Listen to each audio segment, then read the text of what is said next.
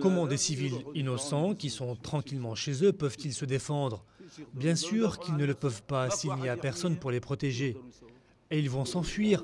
Et nous, l'Église, nous ne pouvons rien faire. Nous n'avons ni milice, ni fusil, ni armée pour les défendre.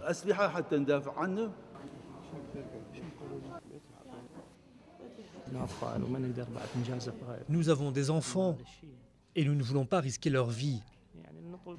Tout ce que nous voulons maintenant, c'est quitter le pays parce qu'il n'y a pas d'autre solution. Nous sommes désormais convaincus que vivre ici est beaucoup trop dur pour nous.